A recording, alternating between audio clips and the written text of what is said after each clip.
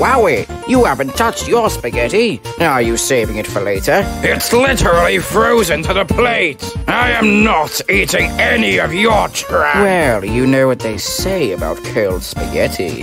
Those who forget the pasta are doomed to reheat it. I will kill you! You get mad for silly reasons. Don't worry, it's mouth muscles. Your temper is quite very out of control. I can hardly tell you're upset. I feel sorry for all you. Maybe I'm going too far for I use up for you. Making fun is part of my daily routine. I had a penny every time I heard that. No need to have like a big old baby. I should think about spaghettiing out of here.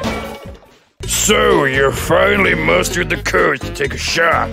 Guess I gotta try harder to catch up to your level. I relish that fact. I'll take that as a condiment. Wowie! I've never tasted juice like this before.